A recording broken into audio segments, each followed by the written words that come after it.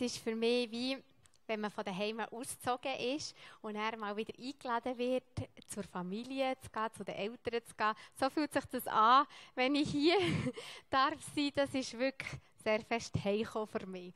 Und ich habe mich fest gefreut, dürfen heute Mittag hier zu sein und dass ihr mich eingeladen habt. Ähm, Debbie hat es schon angekündigt, ich rede heute zum Thema Jesus ist du Verstehung und das Leben.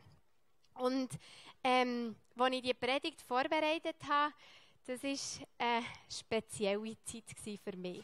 Ähm, währenddem ich hinter den Predigtext gegangen bin, ist mein Vater im Operationssaal gelegen und man hat einen schweren Hirntumor, den er hat, probiert zu operieren. Und ich habe nicht gewusst, ob er die Operation überlebt. Ähm, ob er auch noch reden kann, liegt fest auch im Sprach Sprachzentrum der Tumor. Und ähm, ob er auch noch sich bewegen und überhaupt, was wir für einen Mensch da wieder antreffen. Und ja, die könnt euch vorstellen, der Text von heute Morgen, der ist mir mächtig unter die Haut gegangen, ähm, währenddem, dass mein Vater im Operationssaal gelegen ist. Und ich lese euch vor, Debbie hat ihn euch schon gezeigt, es ist Johannes 11, 25 bis 26. Ich bin die Auferstehung und das Leben. Wer mich annimmt, wird leben, auch wenn er stirbt. Und wer lebt und sich auf mich verlässt, wird niemals sterben in Ewigkeit nicht. Das ist eins von der Ich Bin-Wort aus dem Johannesevangelium. Und ähm, der Verfasser von dem Evangelium, das ist der Johannes gsi, einer von den zwölf Aposteln und somit der Augenzeug vom Wirken von Jesus.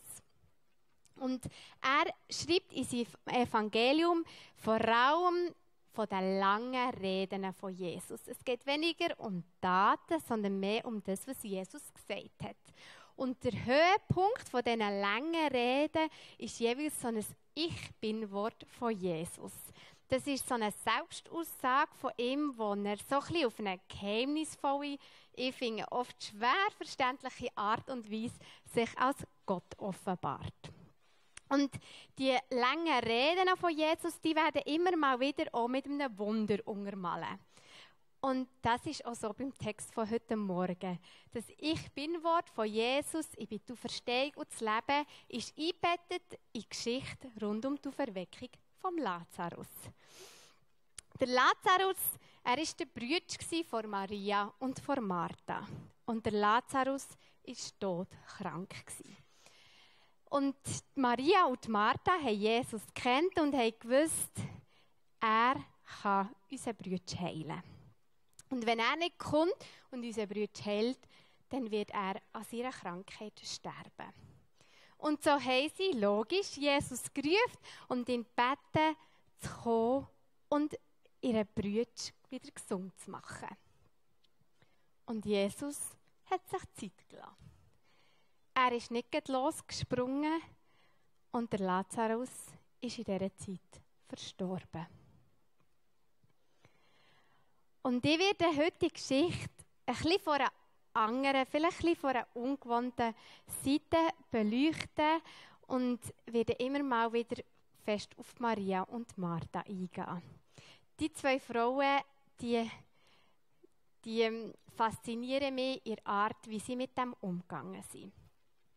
Zwar, wenn ich die zwei wäre weil Jesus hat sich ja dann doch irgendwann doch noch auf den Weg gemacht und ist dort angekommen und ist vor diesen Schwursten gestanden. Und ich weiß nicht, was hättest du gemacht in dieser Situation? Du hast Jesus hergerufen, hast gewusst, er könnte die Brüder retten und er hat es nicht gemacht. Und jetzt taucht er plötzlich auf und steht vor dir. Ich ich hätte mächtig ausgerufen. Von mir hat er, glaube ich, fest zu hören bekommen, wie enttäuscht ich bin. Und ich fest in meinem Stich fühlen. Und dass ich nicht verstehe, warum er das nicht gemacht hat. Ich habe ja mitbekommen, dass er anderen geholfen hat. Warum mir nicht? Und Maria und Martha, die haben besonders reagiert.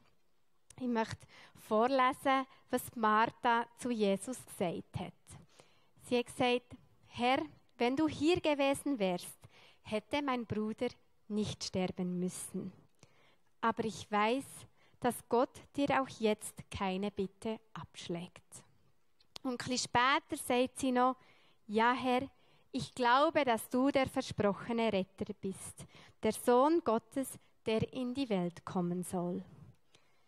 Maria und Martha waren logisch mega enttäuscht, dass Jesus der Lazarus nicht geheilt hat.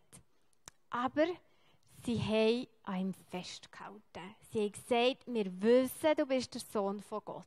Du bist der Retter von dieser Welt. Und alles ist dir möglich.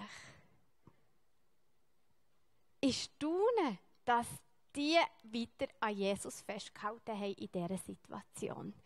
Mir kommt es vor, als wäre ihr Glaube unzerstörbar gewesen. Der muss wirklich tief verankert sein, dass sie in diesem Moment fähig waren, ihm so zu begegnen. Kannst du eine Folie weiterschalten? Merci vielmals. Mein Vater, sein Tumor hat man operiert. Er hat die Operation überlebt. Ähm, aber man wird nie können restlos alles von dem entfernen. Der liegt am Hirnstamm und das ist schlichtweg nicht möglich, den ganz rauszunehmen. Ähm, aber er hat mindestens ein paar Jahre gewonnen. Vielleicht mögt ihr euch noch erinnern, früher habe ich ab und zu das mal geteilt und ihr habt auch fest gebetet für mich und für meine Schwester. Meine Schwester ist ja psychisch schwer krank und das ist sie noch immer. Und Ärzte sagen über sie, dass sie früher oder später sterben wird, dass sie das nicht überlebt. Und manchmal frage ich mich, was passiert mit mir, wenn mein Vater oder meine Schwester stirbt. Ich bete dort für ein Wunder. Und ich weiß, Jesus kann es tun. Aber ich weiß nicht, ob er es tut und was er tut. Und vielleicht kennt ihr das auch aus eurem Leben. Oder ich bin überzeugt, ihr kennt es. Ihr betet und betet und habt das Gefühl, eure Gebet, die landen irgendwo in einer Zwischenwelt. Oder irgendwo ist ein Staubsauger und zieht ab, bevor sie weiter können. Irgendwie landen die gefühlt nicht bei Gott. Weil sie bleiben einfach unbeantwortet. Meine allergrößte Angst ist, dass wenn meine Schwester oder mein Vater stirbt, dass ich nicht bin wie Maria und Martha. Und dass irgendwie auch mein Glaube stirbt. Dass ich das nicht verkrafte, die Enttäuschung, dass er das zugelassen hat und dass er nicht so eingegriffen hat, wie ich mir das wünsche. Und das, was mir bleibt, ist zu beten. Zu beten und daran festzuhalten und mir den Glauben nicht rauben Zu beten, dass immer darf ein kleiner Funke Hoffnung und Glauben bleiben. Egal, was passiert. Wo ich glaube, dass solange ein kleiner Funke bleibt, kann es Jesus auch wieder auferwecken. Kann unser Glauben auch wieder zu neuem Leben auferstehen. Und darum glaube ich auch die Geschichte vom Lazarus. Ähm, kannst du noch die nächste Folie geben? Danke. Kann die Geschichte vom Lazarus ohne Illustration dafür sein, was Jesus in unserem Leben ganz persönlich möchte tun. Ich glaube, er möchte uns immer mal wieder ganz ein auf uns zugeschnittenes Auferweckungserlebnis schenken. Dass dort, wo uns Sachen hoffnungslos vorkommen, dort, wo wir beten und beten und beten und das Gefühl haben, wir rennen gegen eine Wand. Und dort, wo wir uns allein und im Stich fühlen und vielleicht manchmal sogar das Gefühl haben, Jesus hat uns vergessen. Oder vielleicht kommt er irgendwann aber zu spät, so wie bei Maria und bei Martha dass wir dort dürfen neu Mut bekommen, neuen Glauben und neue Hoffnung. Dass neues Leben darf in unseren Glauben hineinkommen. so wie beim Lazarus, wo wieder auferweckt worden ist. Manchmal lässt Jesus zu, dass wir enttäuscht sind von ihm. Manchmal lässt er zu, dass es uns nicht gut geht. Und dass wir durch einen Tunnel laufen und das Gefühl haben, das Mal gibt es anscheinend kein Ende. Der Tunnel wird nie zu Ende gehen. Manchmal lädt er zu, dass, dass wir Schmerzen leiden und es uns nicht gut geht. Und da hilft es mir zu wissen, dass ja selbst er das erlebt hat. Dass selbst Gott zugelassen hat, dass er hat müssen leiden, dass sein Sohn hat müssen Schmerzen haben und dass sein Sohn unendliche Trauer kennt. Obwohl er über ihn gesagt hat, du bist mein Sohn, dir gilt meine Liebe, dich habe ich erwählt. Obwohl Gott Jesus über alles liebt und er sagt, du bist mein Sohn, du bist der Auserwählt. Trotzdem hat er zugelassen, dass Jesus durch eine sehr schmerzvolle Zeit hat müssen. Wir sind ja noch nicht weit entfernt vor Karwoche, wo wir uns daran erinnert haben, was Jesus am Kreuz für uns hat da. Und mir hilft es manchmal, mir vor Augen zu führen, wie es Jesus in dieser Zeit gegangen ist. Einer von seinen letzten Sätzen war ja, mein Gott, mein Gott, warum hast du mich verlassen? Selbst Jesus ist in seinem Leben irgendwann an den Punkt gekommen, wo er hat gedacht, ich glaube, Gott hat mich im Stich gelassen. So wie es Maria und Martha kennt haben, die haben gebetet und gehofft, dass Jesus kommt und er ist nicht gekommen. Oder zu spät gekommen. Und wie wir es ja vielleicht auch kennen, dass wir hoffen und glauben und warten und irgendwann trifft das ein, wo wir so Angst davor hatten. Und dann kann man sich so fühlen, dass man betet, mein Gott, mein Gott, warum hast du mich verlassen? Der Hans-Peter Reuer hat etwas ganz Schönes gesagt. Er hat gesagt, manchmal beruhigt Gott den Sturm, aber manchmal lässt Gott den Sturm wüten und beruhigt sein Kind. Wenn es so richtig stürmt in unserem Leben,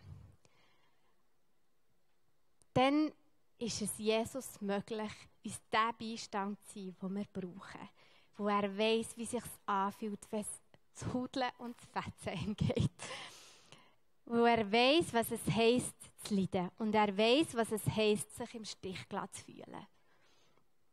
Und darum ist es so wichtig, dass, wenn wir uns so fühlen, dass wir uns an ihn wenden. Er kann uns verstehen. Und er weiß, was man in so einem Moment braucht. Jesus würde uns nie im Stich lassen. Noch wenn wir das manchmal fühlen, und das muss ich mir immer wieder sagen, eine Frau muss sich das, glaube ich, sowieso sehr oft sagen, dass das, was wir fühlen und das, was wirklich ist, oft nicht das Gleiche ist. Und noch wenn ich mich im Stich fühle, heisst das noch lange nicht, dass ich es bin. Und noch wenn ich das Gefühl habe, Gott hat mich vergessen, heisst das noch lange nicht, dass er es wirklich hat. Manchmal warten wir auf ein Wunder und es stirbt in der Zwischenzeit etwas ab, so wie der Lazarus gestorben ist. Manchmal warten wir so lange, dass etwas kaputt geht in der Zeit, wo wir warten. Aber Jesus ist es möglich, irgendwann zu kommen und das zu neuem Leben aufzuerwecken. Maria und Martha haben ja alles geglaubt, aber sie haben sich nicht vorstellen, sie haben sich nicht mal ausgemalt, dass Jesus das möglich ist. Und er ist gekommen und hat der Lazarus zu neuem Leben auferweckt. Wir dürfen nicht aufgeben, zu beten und zu hoffen, dass irgendwann eine neue Zeit anbricht, dass irgendwann ein neues Leben reinkommt.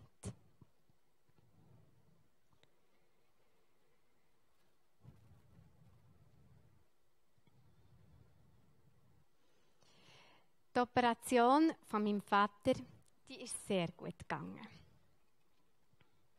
Aber ich habe es angetönt, ähm, sterben an seinem Tumor wird er irgendwann. Es ist die Frage, wie lang, wie fest, dass der sich jetzt still hat oder gerade wieder fährt an wüten. Dass er nicht an dem stirbt, braucht es ein Wunder, weil medizinisch kann man nicht mehr viel mehr tun. Also immer mal wieder ein bisschen abschneiden und hoffen, dass er sich mit dem wieder ein bisschen ruhig hat. Meiner Schwester geht es im Moment ein Mühe besser. Aber das geht ihr immer mal wieder. Und immer mal wieder geht es ihr auch schlimm und auch schlecht. Und weiss ich nie, wenn das Telefon läutet und sie vielleicht nicht mehr lebt. Und das kann ihm dazu führen, dass man irgendwann nicht mehr macht. Und dass einem das Glauben und das Hoffen schwerfällt. Und ich denke, die meisten von euch sind in einem Hauskreis. Und mindestens jedes von euch hier ist Teil dieser Gemeinde. Und wenn wir durch so Zeiten gehen, ist diese Gemeinschaft hier so wichtig. Teilt miteinander das, was ihr nicht mehr selber tragen Dort, wo ihr das Gefühl habt, ich, ich renne gegen eine Wange an. Es passiert einfach nichts teilt es miteinander und betet füreinander. Steht in den Riss rein und gebt mal den Rucksack, der vielleicht manchmal so schwer kann werden kann, jemand anderem. Dass die ein bisschen für euch tragen, weil die haben noch Kraft, die tragen noch nicht so lange wie ihr. Und kommt schnell zum Durchschnaufen und nehmt ihn erst dann wieder und geht weiter. Ich möchte beten. Herr, ich bitte dich darum, dass die Last, die uns manchmal das Leben bringt, dass die uns nicht erdrückt. Dass wir immer werden können weitergehen Dass uns die Kraft unseren Beinen nie ausgeht. Lass nicht zu, dass wir bleiben stehen und dass wir uns vor dem, was schwer ist, erdrücken Herr, ich bitte dich darum, dass du unser Leben neu auferweckst. Dass du unseren Glauben neu auferweckst. Und dass wir dürfen erleben, wie es Maria und Martha erlebt haben. Du hast uns nicht vergessen. Du lässt uns nie im Stich. Und du hast Größeres für uns parat, als wir uns je ausmalen können.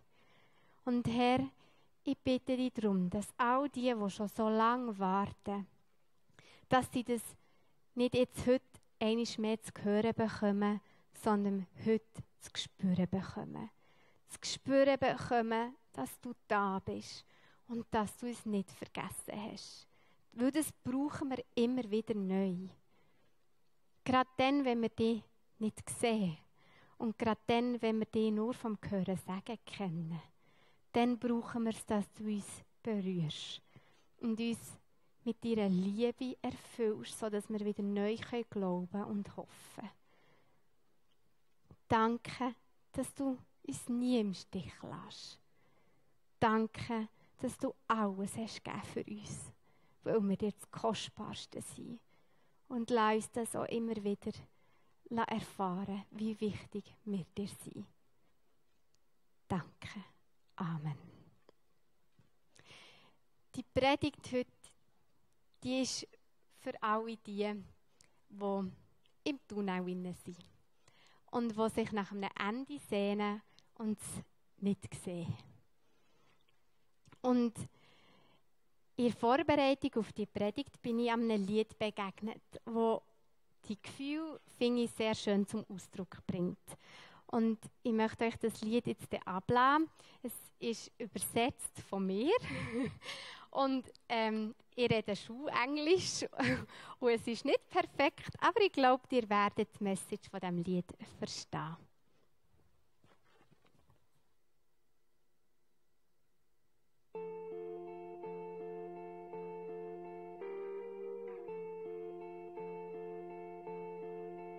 They say sometimes you win some, sometimes you lose some.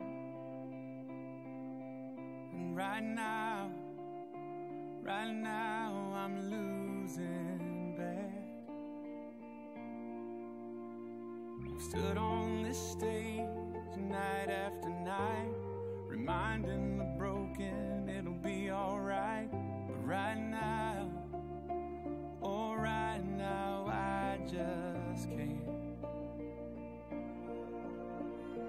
It's easy to sing when there's nothing to bring me down.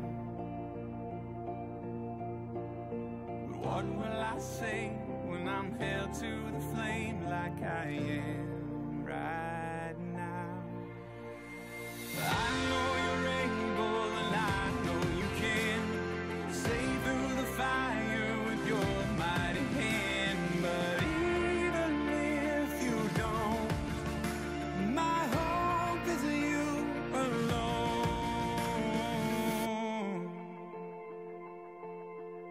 They say it only takes a little faith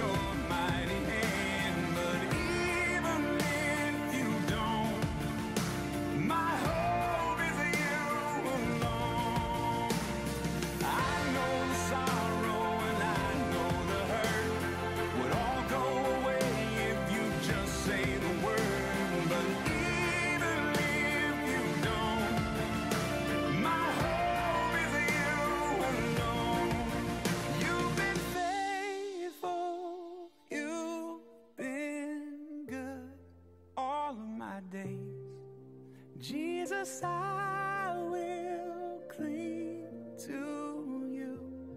Come what may, cause I know you're able. I know